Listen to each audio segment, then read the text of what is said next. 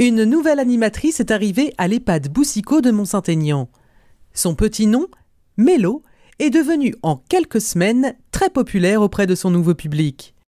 Il s'agit d'une borne musicale qui propose plus de 3000 chansons d'hier et d'aujourd'hui. Qu'est-ce que vous avez mis là? Le ciel bleu sur nous peut s'effondrer.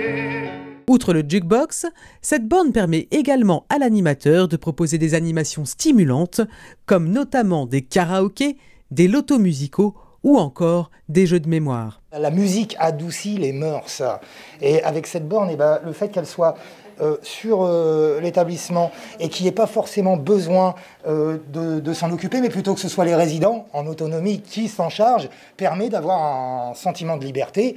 C'est utile pour les personnes en perte d'autonomie, ça permet de stimuler les personnes âgées, elle apporte de la joie, de la bonne humeur, elle stimule les souvenirs, elle réduit même peut-être parfois des fois l'anxiété ou peut contribuer à soulager la douleur.